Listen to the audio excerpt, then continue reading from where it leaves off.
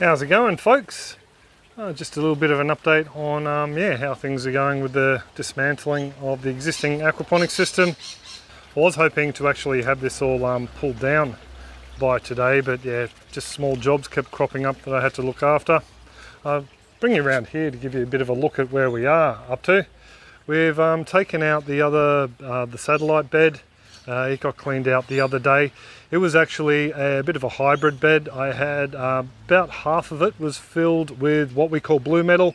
Someone asked the other day what the blue metal is. The blue metal is actually a um, basalt rock. It's used for road base here. So I had that on the bottom uh, just to help make filling the bed a little bit cheaper and then I had a layer of clay on top. Now the real pain in the butt was trying to clean the clay out away from the blue metal because that clay will probably be on sold to other people as I won't need as much anymore. And the blue metal I actually used to fill a big hole that was left by the uh, builders at the front of our driveway. So um, yeah that one's out now. Uh, over the top of the sump tank of course that bed's gone. It went the other week. Uh, a couple of firetail gudgeons in there. That's why I still have the water uh, running through the biofilter. But this bed here is offline and as you saw at the start I've already um, started to clean this out now this bed here is just one mass of roots as you can see. Just giving you a bit of a closer look at these roots, you can actually see where I've cut along there with my garden knife, uh, taken out a wedge of um, uh, clay that's encrusted in roots and um, cleaned that out and then yeah, um, putting the clay over to one side uh, just to dry out so I can store it away. So this is going to take a lot longer than I thought. Um, this little section here that I've done, just along the front. Um, it took me around about two to three hours just to do that. Uh, it's pretty slow going when you're trying to get all the clay out. So I figure it's it's it's a pretty expensive product, and I, might as well save as much as I can um, to one sell to other people. Uh, the plan is either to go with rafts or maybe a, a sand um, system that I'll tell you about later when we build our final um, system here. Not the makeshift one in between though. Oh, I took this bed out as well, it was just getting in the way. I want to be able to um, get over to that corner so I can clean that stuff out. And as I mentioned, I am drying out the clay here. Uh, what I've done is just got an old grow bed. I just put some planks on the side and some shade cloth in there and that's allowing any of the water to drain out. And the, this is um, from the first bed I did and um, yeah, uh, it was almost dry and then we've had some rain over the last couple of days so it's a little bit moist down in there but as you can see, I've got the majority of the, um, uh, the, the little fine roots and bits of solids out of here. And um, over in this one here, this one started off, oh there's some, uh, blue metal bed. So there's some very small bits of blue metal I may have missed in here, but the rest is just um, the clay media. Just a bit of a um, tip when it comes to cleaning roots out of clay for any of you guys who want to salvage as much as you can and clean it up. Um, I've been using this little net, cup, um, net pot here uh, it's got loads of holes in the sides of it and I've also been using a um, tank strainer. This is a uh, rainwater tank strainer, just stops any leaves and large bit, bits of debris getting into your rainwater tank and generally under that you have a fly screen to keep the mozzies out. Um, but yeah, I've just been using this, um, a bit hard to do with one hand, but I filmed a little bit earlier. So what I do is I just grab a small amount of clay in the net pot, give it a bit of a swirl around and empty out the clean clay. And what happens is a lot of the organic matter um, just ends up sticking to the side of the net pot. And then I just give it a bit of a tap out in a container here. I'm losing the odd small clay ball that gets stuck up in with the roots, but I'm not too concerned about that. So the bed over the sump tank um, only took me just over a day to do that one because I started late in the afternoon. Uh, it took me a couple of days to do the um, satellite bed with the uh, blue metal and the clay just because I wanted to clean as much of um, this stuff out as I could. Obviously not all of it. Um, and this one here I started yesterday afternoon, did a little bit this morning and yeah hopefully I'll um, knock it off this afternoon after I finish filming here because I'm heading um, to a mate's parents farm, hobby farm uh, for a day of bow shooting. So yeah, just trying to get my eye back in with the compound. Uh, the plants that were in here, by the way, I haven't salvaged all or saved all the plants. Um, just just a few of each. Like you can see the um, garlic chives there, a couple of clumps of them. I've got a large pouch with the Okinawan spinach, and then I've got a um, pot just behind it. And there's a hoe and knock, and around the side there, just down there, we have a mushroom herb. And I also have um, other bits and pieces. I've got some Brazilian spinach uh, tucked in behind that lemongrass over there and I've got bits and pieces up in water. I've got some brahmi as well. But yeah, hopefully these guys will take off. I'm not too overly concerned if they don't because I do have backup plants. Oh, the garlic chives, they're the only ones I don't, but I'm fairly sure they won't die off. And I've just set, um, I'll set up a little bit of a shade here just because it gets rather hot here in the middle of the day.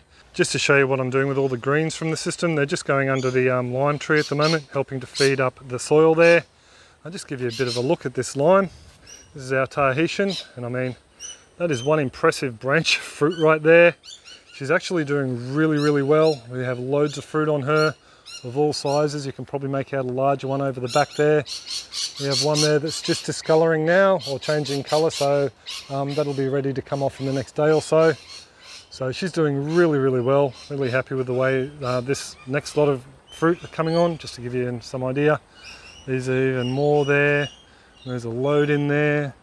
There's a nice little hand of three. So yeah, uh, definitely one tree we will be keeping uh, through the redesign.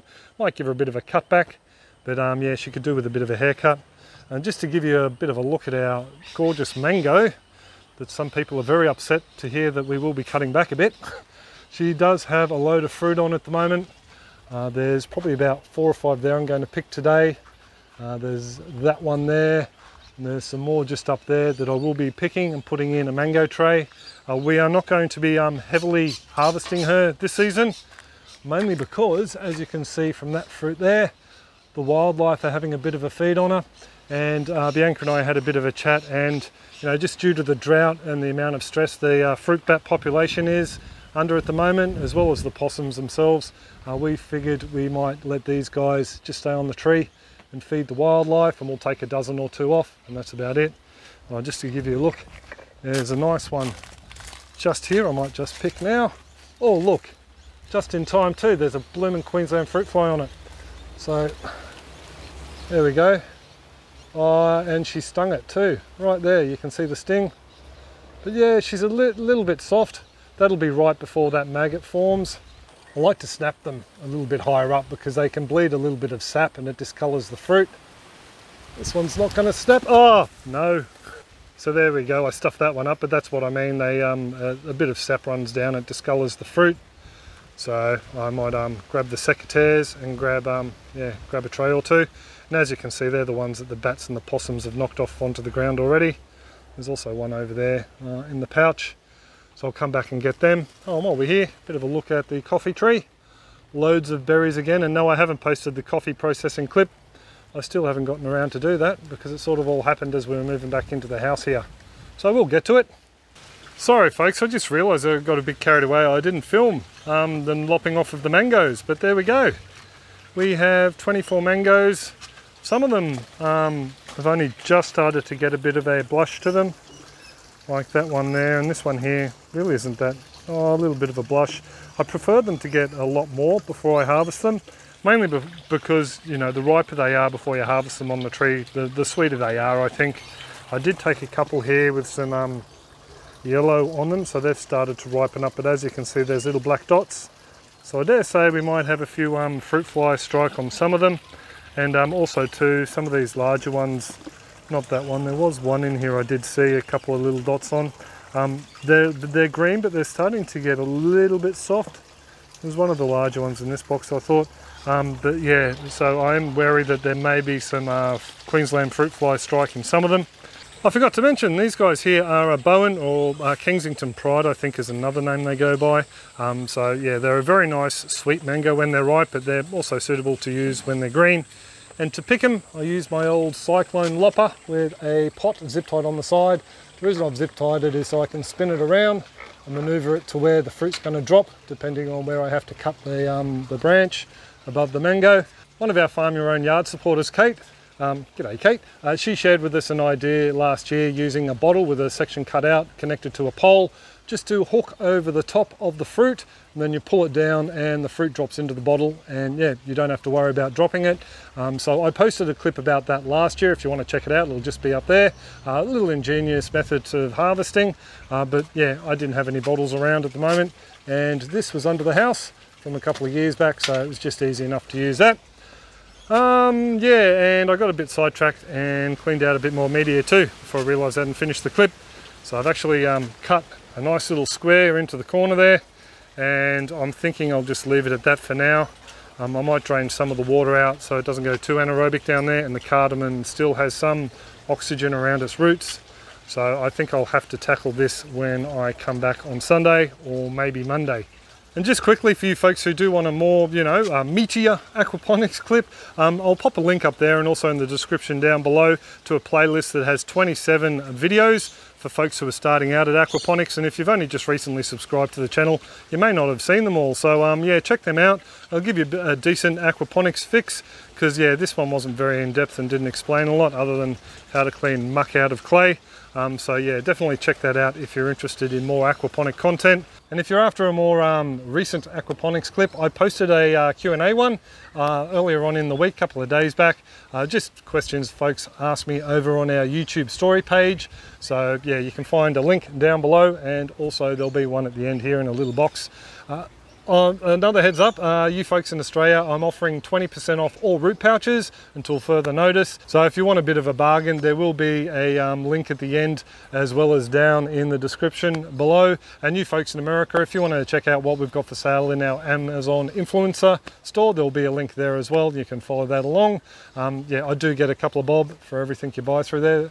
I really do appreciate it if you use it. Don't have to though, no pressure. Uh, what else? I think that's pretty much all it, other than, yeah, I hope to um, have the aquaponics clip up by next week for you, uh, at least give you a bit of an idea on what I'm doing with the new build. And yeah, I'll leave it there. Uh, thanks very much for coming along and um, yeah, keeping up to date with what's going on with the updates. I know they're not riveting for some of you folks, but I really do appreciate you turning up and uh, watching the clips and leaving the comments down below as well. I love answering your questions down there when I get to the time. Uh, big shout out and thanks to the marvelous folks supporting us through the Farm Your Own Yard members page. Uh, links below if you want to suss that out. And also to the YouTube membership platform. Really appreciate the support folks. And as always, you can check out our super contributors. Their links are down in the description below. It'd be fantastic if you could go down there and show them some love just by clicking on their links and seeing what they're all about. But I will pretty much will leave it there. I've got to edit this and then pack for heading up to the farm tomorrow. So I do hope you're all well and happy and your gardens are booming and I'll catch you later. Cheers folks, take it easy.